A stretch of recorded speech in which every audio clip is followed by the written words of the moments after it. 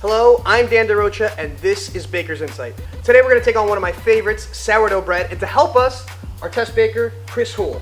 What we're making today is, is a seeded bread. It's called sunflower flaxseed. We're using white flour. We're using a portion of whole wheat flour. Okay. We have flax seeds that have been soaked overnight to bring out some of the flaxseed oil. Obviously, water, salt, our starter for fermentation, and also toasted sunflower and sesame seeds. The, the main overriding feature of sourdough, and what most people really want to focus on when we're talking about sourdough, is the starter. Okay, it's, it's uh, basically capturing the yeast that naturally occurs in the air, in the flour that you use.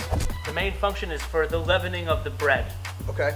The, Salt. the, ri- the, the rise, the Right. structure inside. Correct, to give the bread the volume that it needs when you bake it. Um, you know, obviously there's a lot of variations of a starter. Okay. You know, what people will use a starter for is to highlight different flavors, okay, different uh, volume. The starter that I prefer to use is, uh, I would call it 100% hydration, equal parts flour and water. Okay. And you can tweak that. So what Yeah, so so what, whatever flavor profile you're looking for.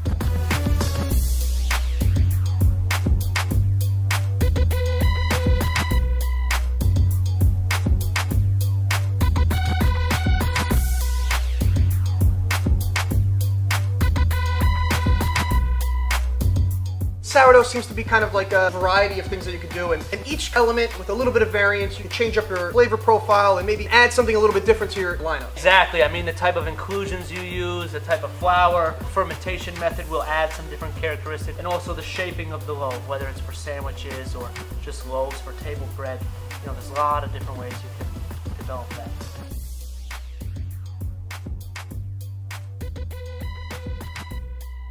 The scoring really is to allow the bread to expand. When it expands, you need to release some of that gas. So by scoring it, it kind of gives a weak point to the dough where it can kind of open up from that point.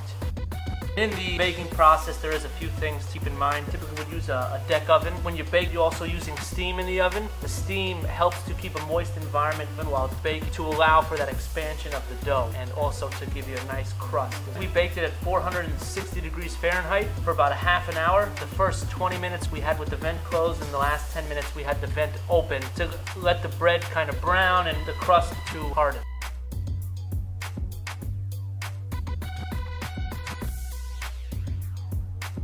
Okay, so we're back. We got final product on the table, but we kind of glossed over a bunch of steps. Let, let me see if I remember everything here to just recap. Uh, so we scaled ingredients, mixed. Then we had a bulk ferment. Then we folded. Then we divided and shaped. Correct? Then we retarded overnight, but you can proof or the retard phase. Right? Then we baked. And that's sourdough in a nutshell. If you have any questions about the ingredients used, the recipe, the mixing instructions, the baking instructions, please visit erikarecord.com. Thank you.